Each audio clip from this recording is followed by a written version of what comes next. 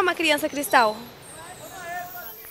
Nós fizemos um estudo, nós, a equipe da Associação Brasileira de Pedagogia Espírita, da, de toda essa problemática posta por Lee Carroll, né, das crianças cristais e crianças índigos. E nós não concordamos com essas denominações, porque achamos que significa rotular as crianças, é uma, uma rotulação perigosa, então achamos que isso é uma, uma ciência um tanto quanto é, mal, mal conduzida ou não é científico, não é absolutamente científico, e achamos que não existem nem crianças cristais nem crianças índigo. Existem crianças normais em toda parte. É óbvio que nós sabemos, segundo o Espiritismo, que as novas gerações estão vindo mais é, despertas, né? mais é, abertas ao conhecimento, com mais potencialidades à tona, e isso é normal, é, faz parte do processo evolutivo. Hoje também as crianças têm uma estimulação muito maior.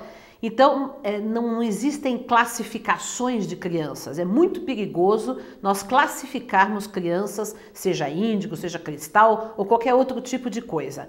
Todas as crianças são especiais, todas as crianças têm potencialidades muito grandes e todas as crianças precisam ser educadas. Porque essas teorias das crianças índigos e cristais, parece que os pais, os professores, os educadores abandonam a sua postura de educadores para dizer que são crianças que já vêm prontas, e não é verdade.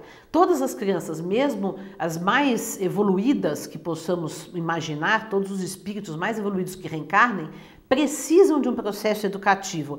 Então, a educação faz parte da proposta de todos os espíritos reencarnantes. Eu acho extremamente problemático nós categorizarmos crianças. E nós fizemos um, uma, um caderno inteiro, um jornal chamado Mensagem, que está disponível no nosso site www.pedagogiaespírita.org.br, explicando toda essa questão das crianças índigo e cristais, mostrando que isso pertence a uma seita norte-americana né, e que é, trabalha com conceitos, com ideias que não são nem doutrinárias do ponto de vista espírita e nem científico, nem, nem com embasamento científico real. Então tomem cuidado com essas denominações e com essas, esses livros que na verdade são lançados uh, para com propósitos comerciais e não com propósitos pedagógicos sérios.